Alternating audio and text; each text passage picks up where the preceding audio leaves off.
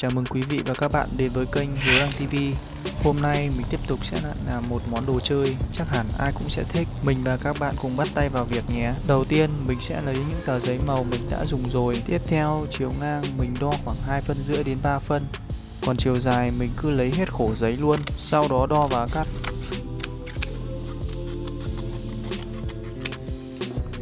Khi mình đã cắt xong, mình sẽ lấy một que xiên đo từ đầu nhọn lên khoảng một phân, sau đó mình cuốn lại. Mình sẽ cuốn đan xen những tờ giấy màu vào nhau cho thêm phần sinh động. Cứ cuốn hết một tờ, các bạn lại giỏ keo 502 vào. Cố định lại, xong rồi ta lại cuốn tiếp. Cuốn đến khi nào bề dày được khoảng phân rưỡi thì ta dừng lại. Cuốn đến khi nào bề dày được khoảng phân rưỡi, tính từ que xiên lên thì ta dừng lại. Và mình đã hoàn thành xong hai con quay. Tiếp theo, cái ngõng con quay chúng ta để dài khoảng 5 phân, sau đó cắt bỏ phần đầu đi.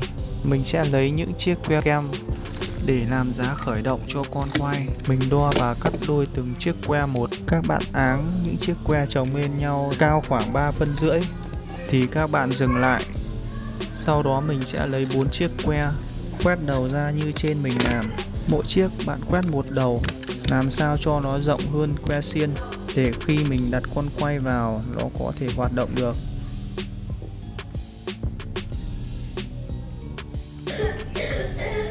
Tiếp theo, đầu kia mình sẽ gắn những phần que vừa cắt vào. Nếu lúc cắt giấy khoảng 3 phân, thì mình trồng que xiên lên khoảng 3 phân rưỡi đến 4 phân, xong mới dừng lại và các bạn gắn nốt thanh dài lên mặt trên, sao cho hai đầu đục vừa lẫy song song với nhau.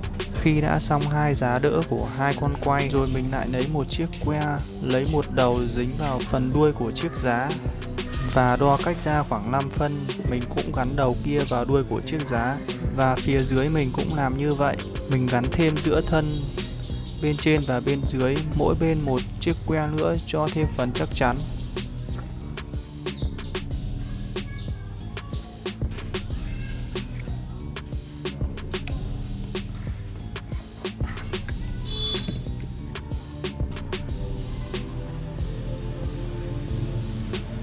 Sau đó mình sẽ lấy kéo cắt bỏ những phần thừa đi.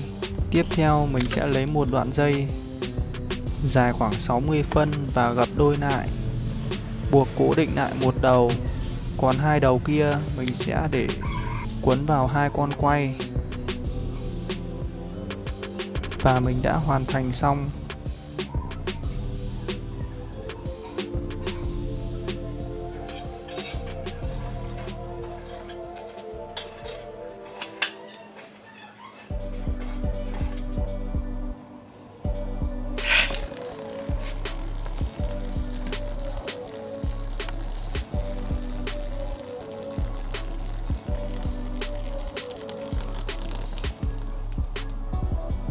Các bạn có thể thấy hai con quay quay thật là tít, phải không?